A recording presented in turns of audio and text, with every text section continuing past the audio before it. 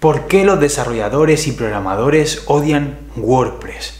¿Por qué hay tanto odio hacia WordPress? Quizá es una mala tecnología, quizá no esté bien usarla, quizá sea algo perjudicial que nos quita el trabajo, quizá no se use en la industria del desarrollo. Todas estas preguntas y mucho más las vamos a resolver en este vídeo porque esto es acojonante. O sea, este sector del desarrollo es como el sector del rap. Es decir, si tú no eres un rapero de barrio, ¿sabes lo que te digo? Si no has nacido en la absoluta pobreza en el barrio y has vendido droga, tú no eres un rapero. Aunque sepas rapear de puta madre.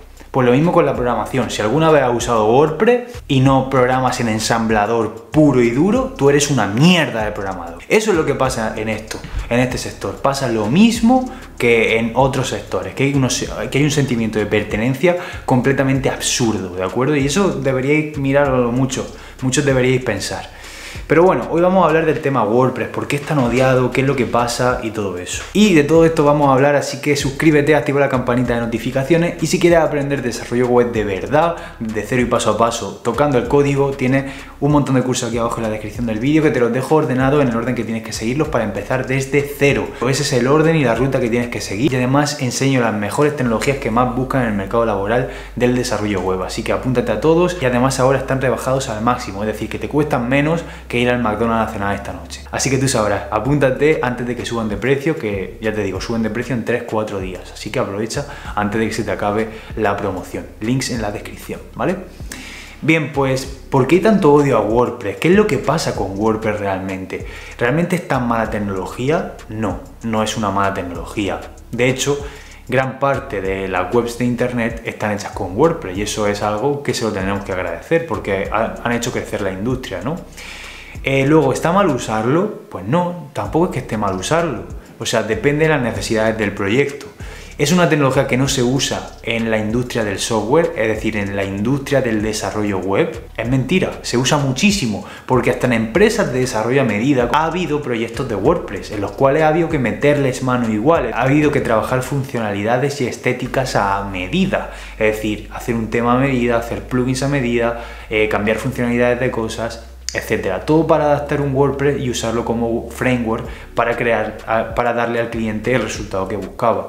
Entonces hay mucho odio. ¿Por qué hay odio? Porque literalmente hay un sentimiento de pertenencia grande a lo que es el desarrollo web. La gente piensa que la gente piensa que WordPress al ser un CMS que lo hace todo de manera automática, por decirlo así, nos va a quitar el trabajo a los programadores que hemos que nos hemos tirado décadas y muchos años eh, con mucho esfuerzo para aprender código desde cero y código de verdad, por decirlo así, ¿no? Fin, hay mucho sentimiento de pertenencia y aparte quien odia una tecnología literalmente es tonto. Repetid conmigo en los comentarios, quien odia una tecnología, quien odia una herramienta es tonto, tonto tonto, tonto y tonto. ¿Por qué? Porque las herramientas son herramientas. Las herramientas sirven para crear cosas, para crear un producto, para crear una web, para crear una aplicación, para solucionar un problema.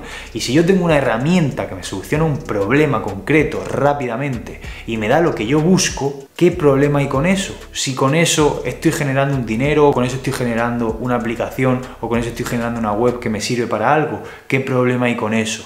Por eso no hay que odiar la herramienta, es como decir odio el martillo, odio la sierra, odio... No, cada una de esas herramientas sirve para una cosa y el momento de aplicarla también, bueno, hay, un momento para aplicarla de una manera u otra, ¿no? Entonces, bueno, el primer punto lo que te tengo que decir es que solo los tontos odian tecnologías y herramientas, solo los tontos, ¿vale?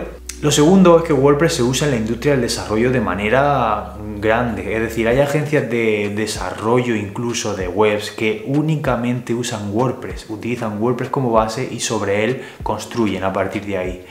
Incluso agencias de marketing, publicidad, agencias de diseño que solamente usan WordPress, hacen el diseño y hay que hacer un tema para aplicarlo a ese WordPress para que el cliente se quede satisfecho. O sea, WordPress se utiliza como si fuese un framework más dentro de la industria del desarrollo. ¿Qué pasa? Que no siempre hay que usarlo porque no siempre tenemos las mismas necesidades de producto o de proyecto. Siempre tenemos que buscar que la solución que le demos a nuestro cliente, ya sea un cliente para nosotros como freelance o si trabajamos en cualquier tipo de consultora, agencia, startup, lo que sea, pues que el producto que nosotros generemos sea lo que se adapte a las necesidades del cliente. Si a mí me viene un cliente y me dice, yo necesito un blog básico que tenga para poner post, que tenga para poner comentarios, eh, un feed de, bueno, un listado de, de publicaciones, categorías y tal, y un buscador.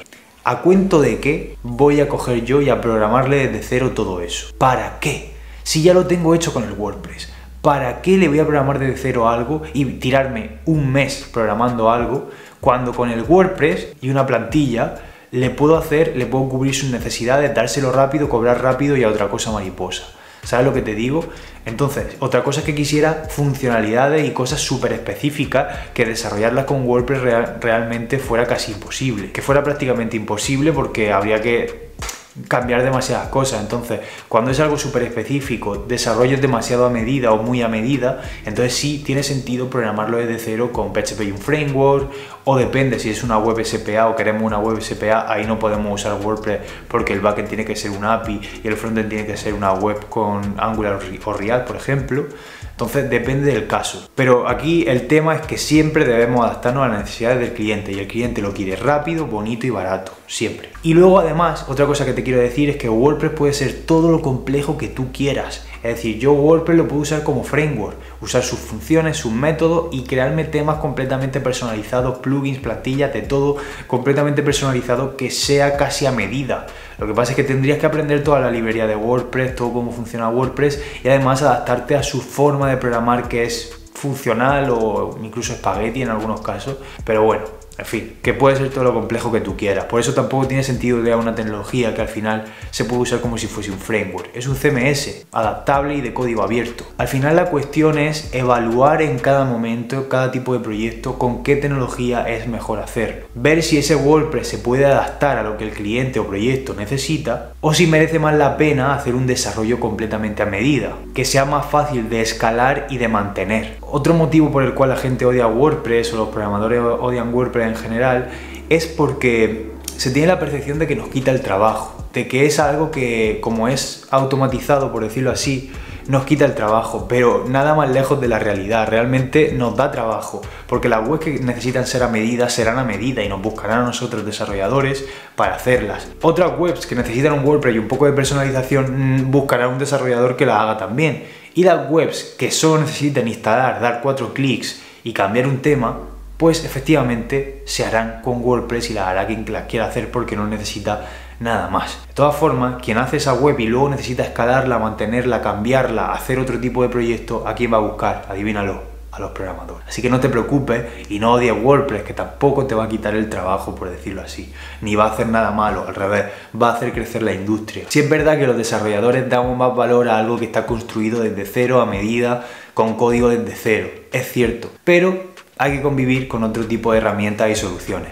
Pero bueno, si tú quieres aprender a crear código desde cero, desarrollar aplicaciones web a medida y hacer código realmente espectacular y poder trabajar como programador, te dejo todos mis cursos en la descripción del vídeo para que te apuntes y puedas aprender todo esto desde cero y paso a paso conmigo. Los cursos están hechos con todo el cariño y cada curso tiene certificado de finalización, decenas y decenas de horas de contenido, soporte y ayuda a los estudiantes en menos de 24 horas y bueno, es espectacular y enseñamos las tecnologías que más trabajo dan. Además, cada curso te cuesta aproximadamente unos 10 dólares o euros justo ahora. Dentro de 3-4 días costarán el doble, pero ahora te salen a ese precio súper barato. Así que aprovecha, apúntate a todos los que puedas antes de que suban de precio y nada más. También te dejaré en la descripción del vídeo un hosting para que puedas publicar ahí tu WordPress, tu portafolio, tu blog, cualquier tipo de proyecto web. Es el mejor hosting relación calidad-precio y para WordPress está súper optimizado, así que también te lo dejo por ahí en la descripción para que lo uses si quieres. Y nada más, nos vemos en el siguiente vídeo. Chao.